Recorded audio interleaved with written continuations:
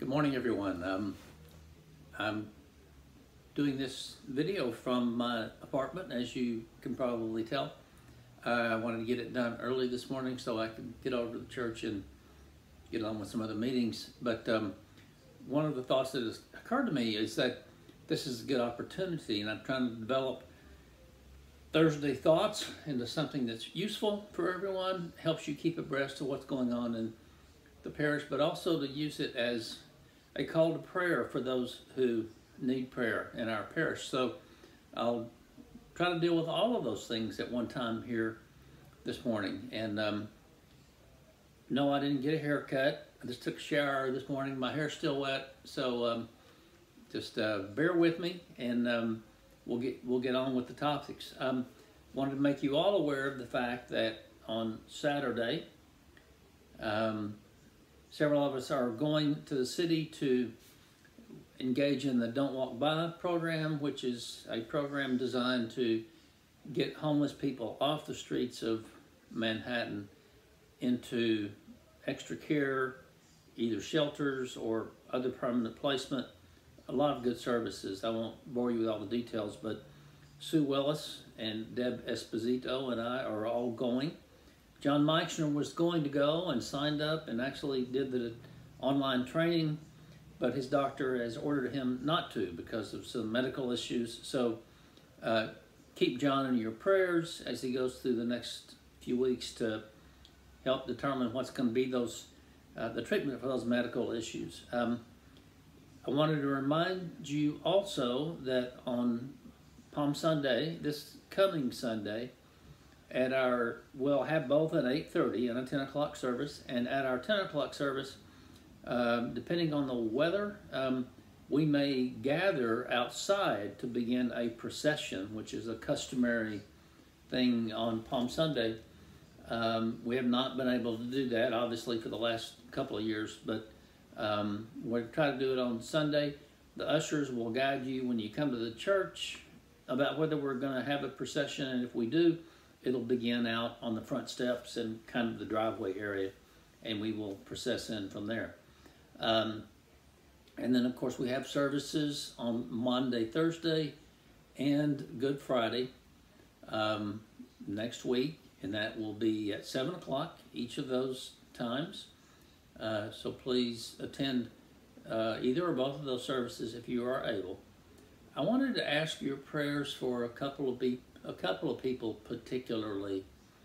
Um, uh, you may have seen the email yesterday um, about Marie DeLuca's death. She is the mother of Nadine Fletcher, one of our vestry members and also one of our food pantry volunteers. Um, so uh, the the wake for Marie will be this afternoon, and as the email stated yesterday, the funeral services will be on Friday.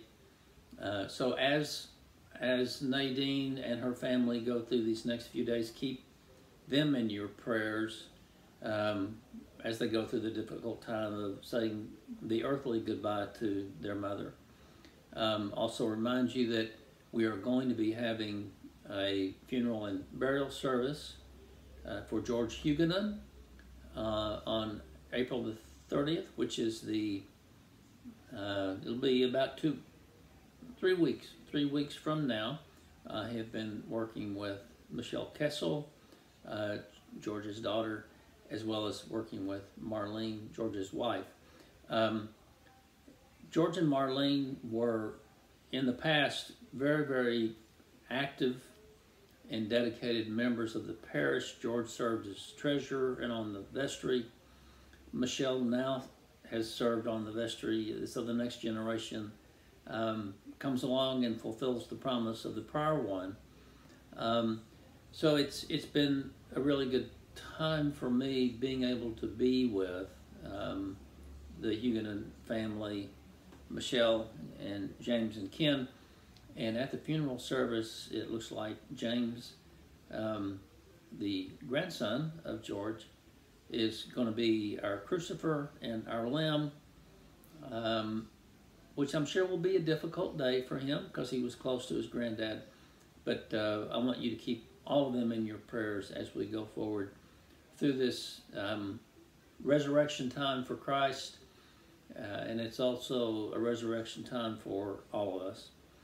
Um, one more thing I want to tell you about is that I have been really, really impressed with our confirmation class of youth, seven of them, which is a wonderful gift to our parish that we have kids who are actually learning about the life of Christ, and I hope that I'm teaching them well. It's been quite a challenge for me because I've never done this to this group, with this group, I, I should say, not to, but I've never done this with this group or any other such group uh, in my ministry, and it's a challenge, but it's also a blessing because I'm really enjoying being with them.